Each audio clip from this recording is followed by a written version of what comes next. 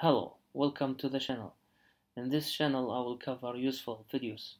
I do different science, medical and other topics. If you are interested, please go ahead and subscribe to the channel.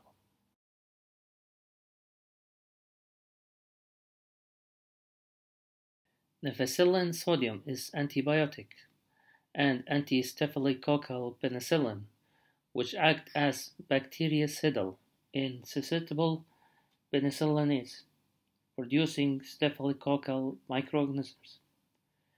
Nafcillin sodium inhibit bacterial cell wall synthesis, bactericidal.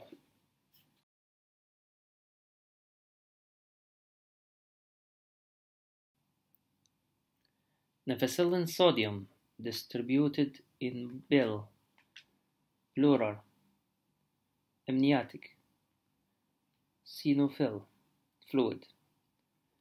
It is metabolized in liver and excreted about 30% in urine.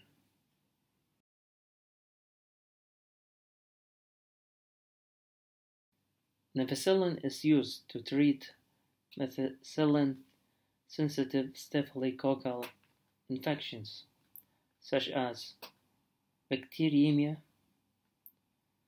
endocarditis, meningitis, skin and tissue, pneumonia, bone and joint infection,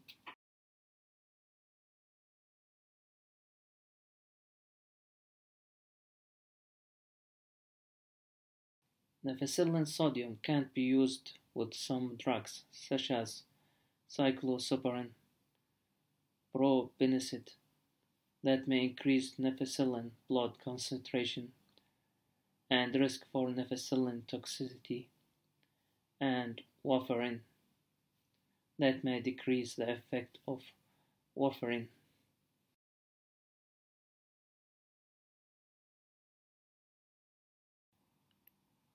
There are side effects of nafcillin sodium such as fever, rash,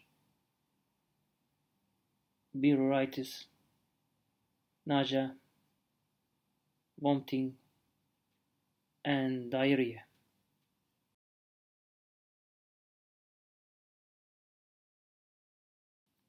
There are serious reactions of nafcillin sodium such as anaphylactoid reaction, superinfection, and antibiotic associated colitis hematologic effect, and severe hypersensitive reaction, thrombophlebitis, and neurotoxic reaction.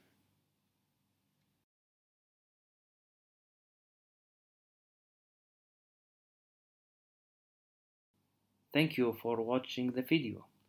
Please check other videos on the channel and please like and subscribe to this channel.